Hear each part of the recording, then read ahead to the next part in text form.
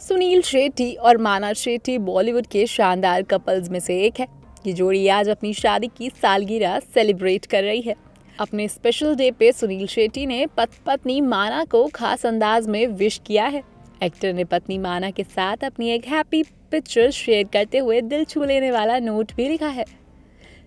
सुनील शेट्टी ने अपनी wedding anniversary पर अपने इंस्टाग्राम हैंडल पे वाइफ माना शेट्टी के साथ सुकून के पल बिताते हुए एक प्यारी सी, बहुत ही एडोरेबल फ़ोटो शेयर की है। तस्वीर में कपल काफ़ी खुश दिखाई दे रहा है।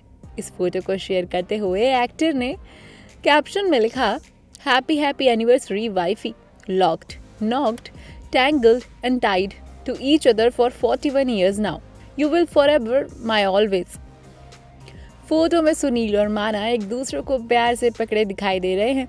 वो एक काउच पर बैठे दिख रहे हैं और उनके बैकग्राउंड में काफ़ी हरियाली नज़र आ रही है। बता दें कि सुनील और माना की वेडिंग एनिवर्सरी पर उनकी बेटी आथिया शेट्टी ने भी उन्हें विश किया है।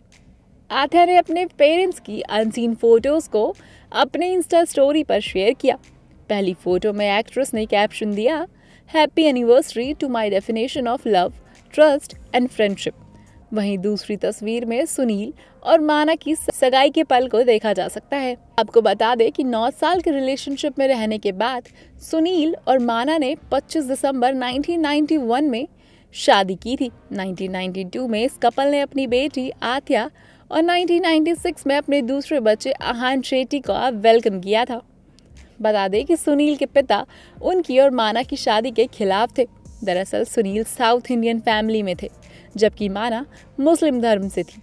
हालाँकि बाद में इन दोनों ने एक दूसरे के लिए प्यार को देखते हुए फैमिली भी इनकी शादी के लिए राज़ी हो गई थी।